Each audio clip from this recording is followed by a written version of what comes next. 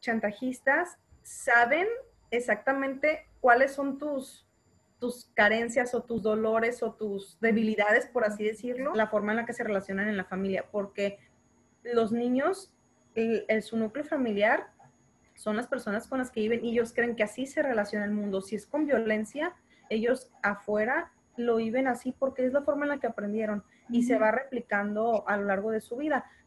Si nosotros detectamos este tipo de cosas y sabemos parar a tiempo, podemos cortar con eso. Y también el, nosotros como padres también es escucharnos, ver cómo pedimos las cosas. Fíjate que yo, ah, como lo veo en eso de la conciencia e inconsciencia, yo creo que como adultos sí somos conscientes de lo que estamos haciendo.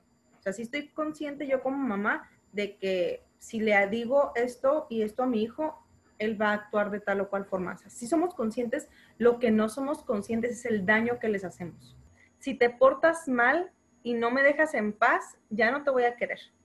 Mm. Amenazamos con el cariño también. O sea, hay alguien que va, no sé, a la universidad o algo más. No, ¿cómo que te quieres ir a estudiar fuera? O sea, ¿me quieres dejar sola? tus hermanos ya se casaron y ya no, ya no están conmigo, tú eres lo único que me queda, o sea, no, no, no, no me puedes dejar sola.